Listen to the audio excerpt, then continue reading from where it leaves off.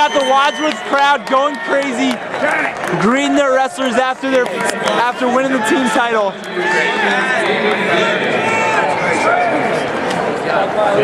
As those who stuck around for it all got to see just a spectacular show, and the Wadsworth Grizzlies knock off the giant that is St. Edwards and win the team title here in Division One in Ohio.